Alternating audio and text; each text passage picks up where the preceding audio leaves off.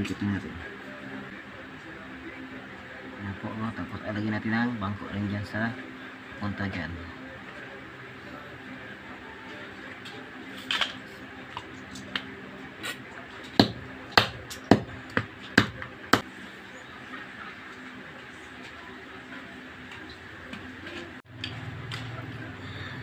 So nagdagay na po ako ng bangko. Tapos nalagyan ko na rin siya ng sa taas. Isa pa dito alagay para mamaya. Yan. So ito po yung bangko niya. Pakita ko sa inyo. Ayan po. So may nilagay akong design sa bangko. Yan lang po ang bubong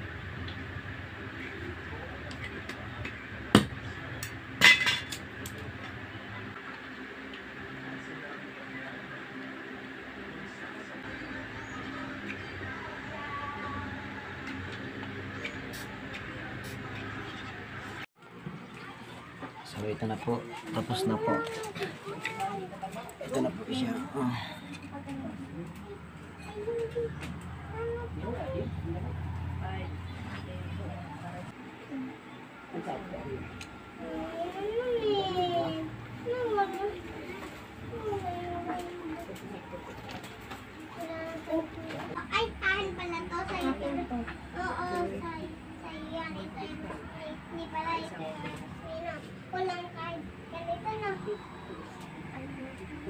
130 lang po ang price nito so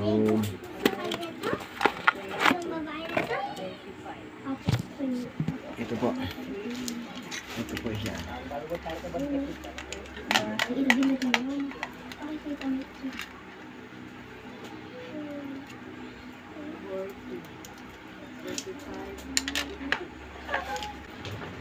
So, yan ang nakakabit natin po dito sa paikot. Pag may sobra, sa taas po natin alagay.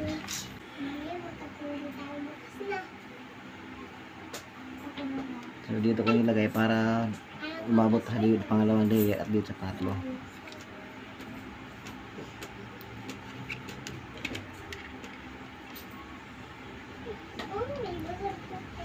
Ay, laki ko makuha niyan. Ang bahay. So guys, tapos na po. Bali, dito ko lang nilagay sa pangatlong layer kasi konti na yung natira. Saka dito sa taas nilagay ko yung iba. So, natin para makita natin. Yan na po. So, bukas ko na ito marnisan. So, kung gusto yung makita kung paano pagbaris ito, nandun naman po sa unang in-upload ko, makikita nyo naman po siya. So, patayin natin yung isang ilaw para makita natin.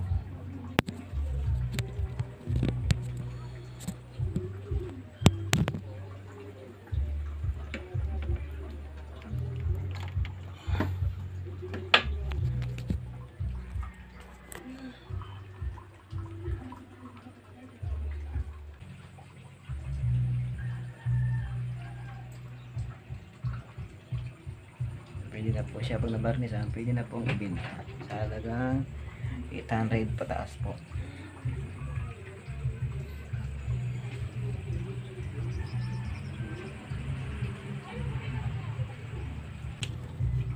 Sabitan ng pera tulad po nito. Ito ang papakita ko po sa inyo. Itong likuran ito po sa parte na po yan ng nyug na yan pwede po natin siya pwede po siya natin dikita ng pera. Tulad po ito nadikit po natin siya dito sa nyug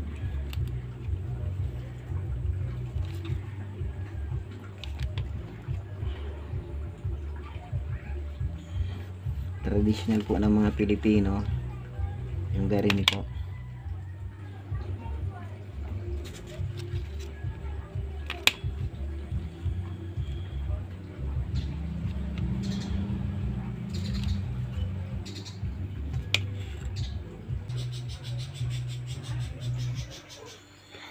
pwede pa natin sabitan kahit ilan po din sa mga daon na yan lalo na yun pong madaling mag ganyan iba ibang style po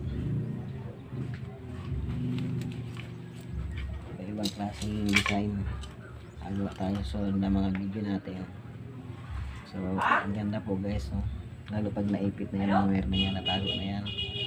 So, mas malinis na siyang tingnan at pag nabarnisan, sobrang ganda na po niya. Mga bagong gawain.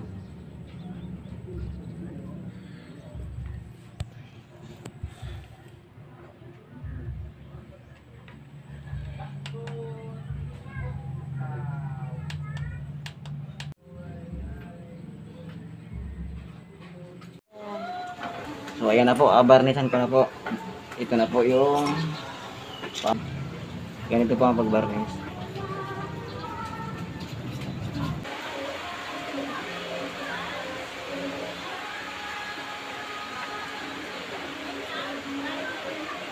So, kaya tayo gumamit ng mask kasi masakit sa ilong ang amoy ng barnis.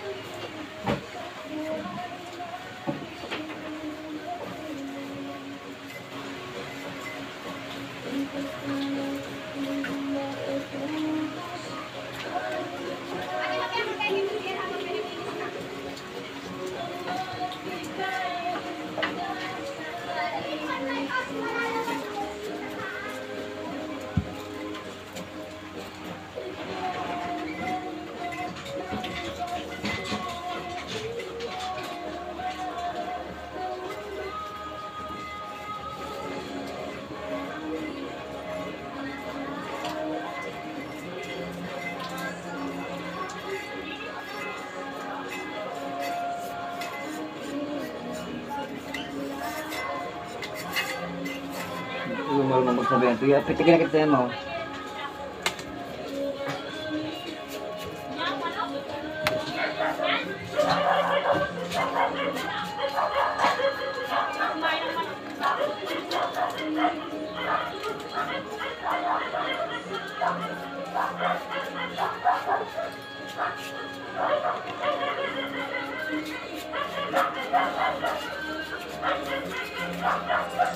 Thank you.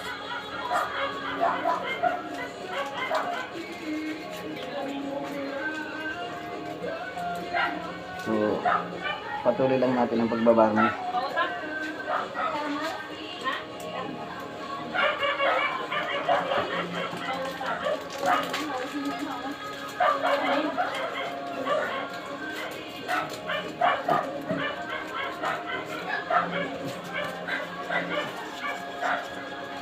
So, lalagyan po natin lahat. Pati sahig, hindi lahat kung kawayan na nilagay natin. Lalagyan natin ng varnish. Para maganda po siya tingnan.